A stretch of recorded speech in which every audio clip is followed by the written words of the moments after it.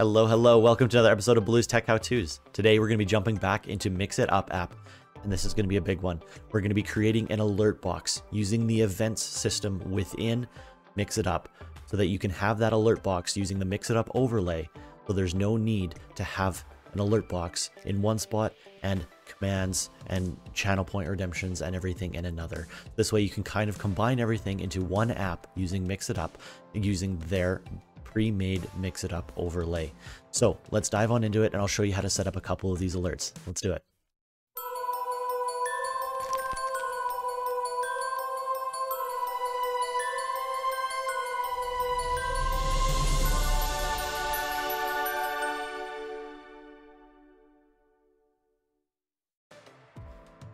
So if you haven't set up Mix It Up yet, make sure you check the above videos. Um, we've got a few in there to help you get everything set up, get your accounts connected, and get it connected to the services that you're going to use. If you are looking for setting up welcome messages, they do classify as an event, and we do have a standalone video for that as well. So, however, today we're going to be looking at those alert box style events. So, if you're streaming on Twitch, um, it's the follows, the subscriptions, the bits, the donations, those ones. So, once you load up the app, you're going to come over here to the upper left hand corner and you're going to click on the third one down called events. That's going to open up this section here. Now you're going to see a few different options in terms of events that you can attach actions and commands to. Today, we're going to be focusing on Twitch, um, but just take a note of what is here that you could possibly add different events to. When we open up the Twitch column, you're going to see a bunch of different events, starting and stopping your stream, follows, hosts, raids, subs, resubs, bits, even hype trains. Um, so when you take a look at this list here, just kind of start brainstorming what you want to add to each of these. Create it a fun, engaging, entertaining alert. Um, you can keep it simple, or you can kind of go all wild using GIFs, images, all that kind of stuff. Um, so we're going to show you how to set up a couple of these. Um, first off with the host alert. So if you come on over and add a command, you want to open the action menu down here and we're going to go to overlay. So the image and video, hit the plus button. And the first thing we're going to start with is our image. So on our stream, we just have a simple image, but again, this is where you would choose between um, image, which is static or GIF form, or videos, which is like MP4.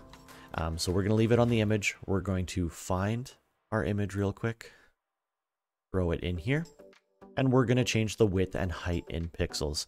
So we're going to go, uh, let's go 600 by the height. We're going to go 400, not 4000. And we're going to set it to a five second duration. Now you can actually set the animations as well. We'll zoom in here for you.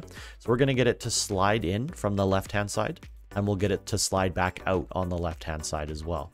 You can set an animation for it while it's on screen, but we're just going to let it sit there. Now, again, screen position, you have simple, just kind of choose from any corner or the center of the screen, or you can break it down all the way into pixels if you know exactly where you want it on your screen. We'll leave it simple and we'll just throw this on the left hand side for right now. That's just the image though. So now we want to actually thank the user who triggered the alert by hosting the channel. So you can put something in the chat if you'd like, but by adding another overlay, we can actually put text on the screen as well. So here we're going to put in the proper variable, which is dollar sign username. And from here, we can create whatever we want the, the rest of the text to say. I recommend keeping it short and sweet because it's going to be on your screen. Uh, however, make it your own. So we're just going to say do dollar sign username has hosted the channel. And we'll just put an exclamation point. There we go. Short, sweet, and simple. Um, you can change the font color. We'll put it to the cayenne color, and you can actually put a shadow on it as well. So we'll put a black shadow behind it and italicize it. Again, make it unique, make it your own.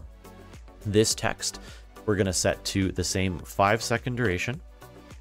Sorry, not 50 second duration. We wanna go five second duration. And we'll choose the same animation so that it actually comes in and then leaves at the same, same time and same spot as the image. Slide out left, and then we're going to put in the bottom left so that it comes in below the image. Hit the save button, and then when you zoom out, you now see your command is made here.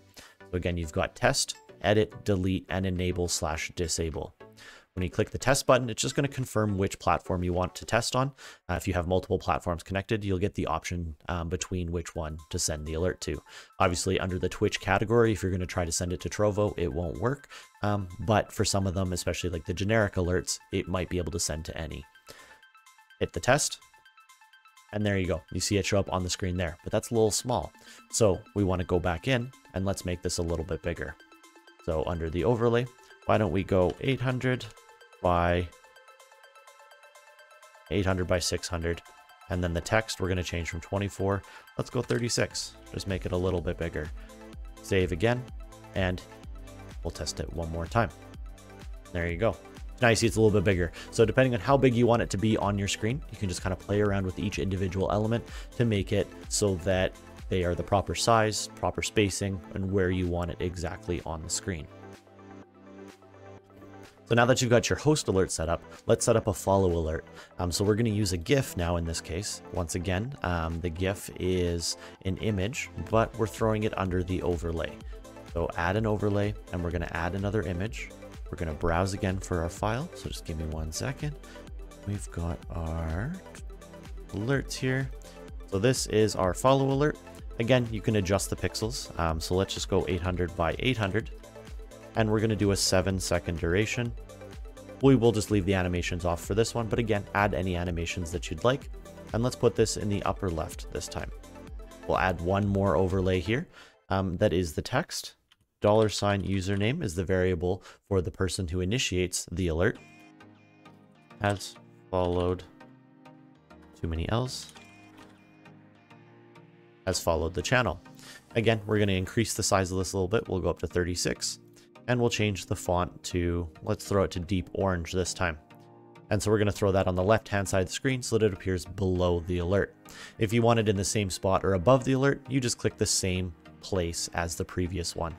So in this case, we're going to go seven seconds as, as the same and hit save. Now, when we test this alert, again, just confirm that we're sending this one to Twitch, you're going to see that there. Now, obviously we've made that a little too big and the words are hard to see. So in this case, we're going to go back in and go to edit and we're going to shrink this guy down. Why don't we go 500, oops, 500 by 500. And then now, because the words were kind of hard to see on the GIF, let's actually just move them one more time below the GIF. Hit save and then hit test. And now when you test this, you can see that it is right there. The words are right below the GIF and the GIF is actually all on the screen. So play around with sizes, spacing again one more time to get those alerts. But these will now trigger anytime this event happens.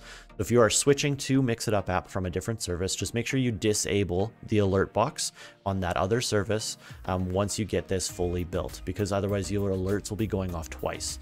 So when you're building these, make sure to just disable them until you're ready and keep using your old alert box. If you're doing it all in one go, get everything built, test it all, make sure that it works before you fully switch over. The reason I say that is because last thing you want is for it to actually not work when you go to stream. Make sure you always have a backup if you can. Don't necessarily delete the old alert box, but just disable it. Maybe remove the browser source from your OBS, but leave it um, set up in Streamlabs or Stream Elements, wherever you had it previously. But this is a nice little simple tutorial on how to get those event event setup using the Mix It Up overlay so that you can have your alert box in your stream using Mix It Up. Hopefully you guys found this video helpful. Hopefully you found it nice and easy. If you have any questions, let me know down in the comments below. Otherwise, I will catch you guys next time. Hope you have a wonderful rest of your day. Take care.